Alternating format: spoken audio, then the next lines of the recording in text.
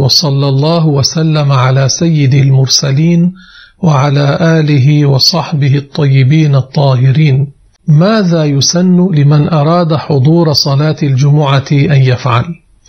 قال رسول الله صلى الله عليه وسلم من اغتسل يوم الجمعة واستن ومس من طيب إن كان عنده ولبس من أحسن ثيابه ثم خرج حتى يأتي المسجد ولم يتخط رقاب الناس ثم ركع ما شاء الله أن يركع وأنصت إذا خرج الإمام كانت كفارة لما بينها وبين الجمعة التي قبلها رواه الحاكم وأبو داود.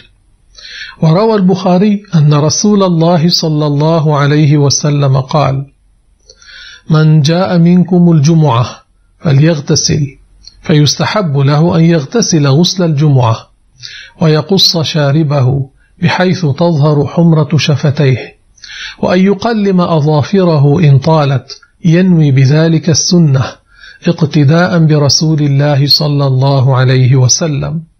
فقد روى البزار والطبراني في الأوسط عن أبي هريرة رضي الله عنه أن رسول الله صلى الله عليه وسلم كان يقلم أظفاره ويقص شاربه يوم الجمعة قبل أن يخرج إلى الصلاة ويستحب له أن يحلق عانته وأن يلبس أحسن ثيابه وأفضلها البياض لقوله صلى الله عليه وسلم عليكم بالبياض فإنها خير الثياب أي أن الثياب البيضاء أحسن الثياب ويستحب له أن يستاك فقد روى البخاري ومسلم أن رسول الله صلى الله عليه وسلم كان إذا قام من الليل يشوص فاه أي يدلك فمه بالسواك فهو سنة مؤكدة والسواك يضاعف أجر الصلاة إلى السبعين.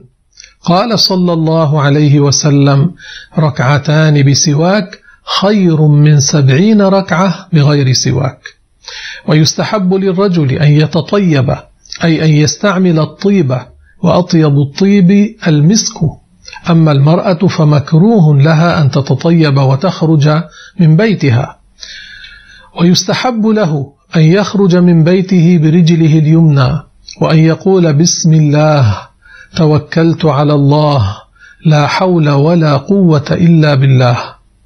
وأن يبكر إلى الصلاة فقد روى البخاري عن أنس رضي الله عنه أنه قال كنا نبكر بالجمعة ونقيل بعد الجمعة ويستحب أن يقرأ سورة الكهف لحديث الحاكم من قرأ سورة الكهف يوم الجمعة أضاء له من النور ما بين الجمعتين وأن يكثر من الصلاة والسلام على النبي صلى الله عليه وسلم لحديث أكثروا من الصلاة علي ليلة الجمعة ويوم الجمعة.